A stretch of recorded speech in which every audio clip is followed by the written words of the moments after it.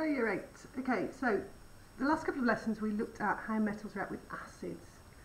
And we could see that some metals were more reactive, they reacted more quickly, uh, they released more energy.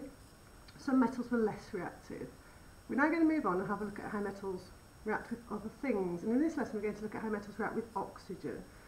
We should start to see a pattern building up where things that reacted most vigorously, vigorously with acid also do with other things so that we can always have this order a list of the metals from most reactive to least reactive and that's called the reactivity series.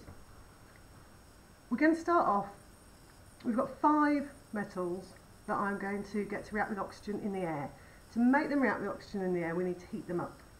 Um, we are going to start off with copper. Okay, so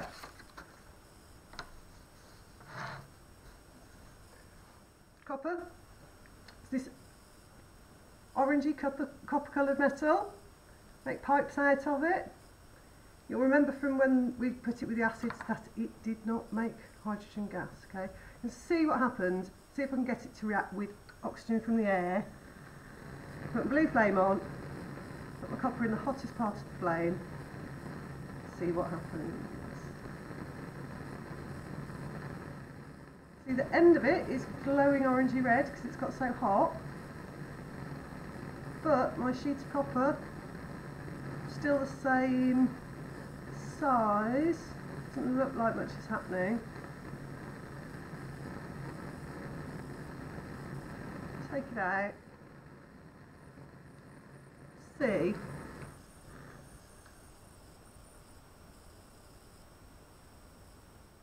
instead of being copper colours, it has gone this sort of grey colour in the end where I put it in the flame. Okay. But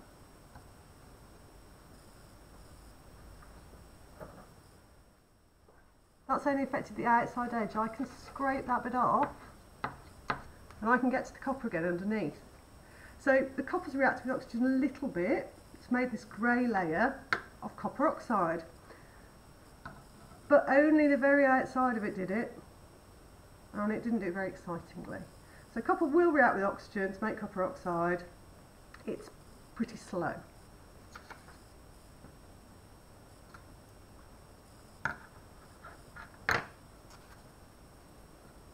Next thing we're going to look at is iron. I've got this wire wool here and that is just made of iron atoms drawn out into threads. Your mum and dad might have used it to scrape old paint off. I'm going to put that in and see what happens. It's roaring flame, nice and hot.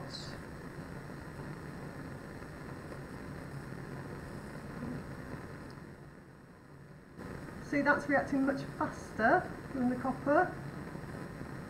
Tiny little bits are falling off it. Edge of it, it's been in the flame, that dark colour. So iron will react with oxygen as well, and that darker area is iron oxide. It's iron atoms that have got oxygen atoms bonded to them.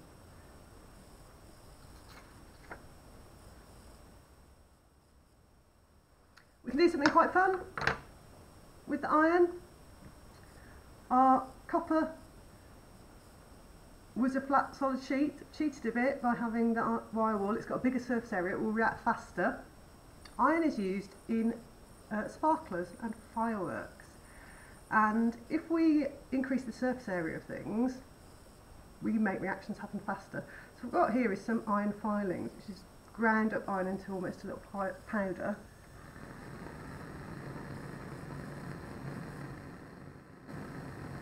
I sprinkle my filings into a Bunsen flame. You should see little sparkles. That's how sparklers look with iron filings. And a nice demonstration of increasing surface area increases reaction. Tiny little filings reacted much faster than the wire wool. But they made exactly the same thing, the tiny little bits that are falling down around the Bunsen burner, that's iron oxide too. Then I've got zinc. So zinc, silvery metal, sheet the same as the copper.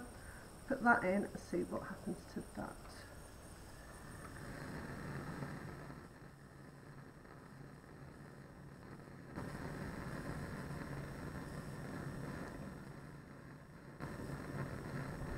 So the zinc's reacting much faster than the copper. You can see it's burning with an orangey flame. If you take it out of the heat, it won't react with the oxygen in the air. Put it back in. You can see that actually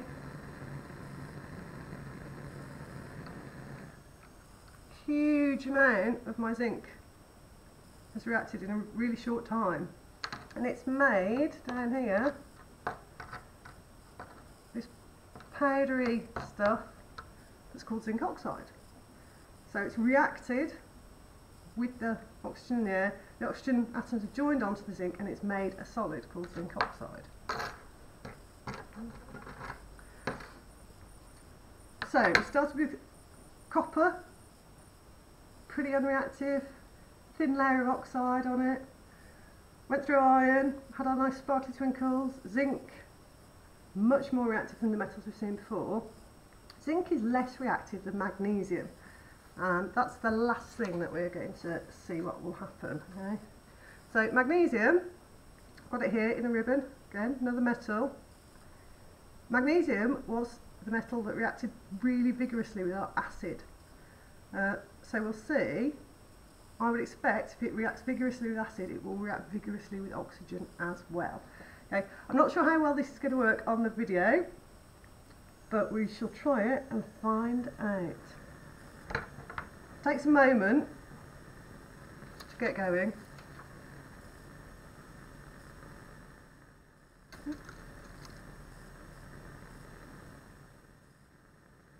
Okay, so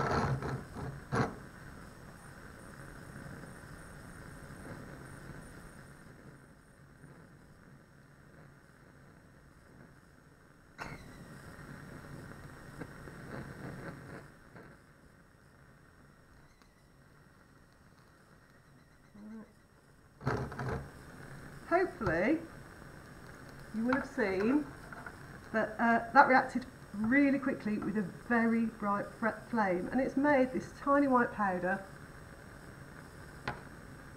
magnesium oxide but it reacted faster than any of the others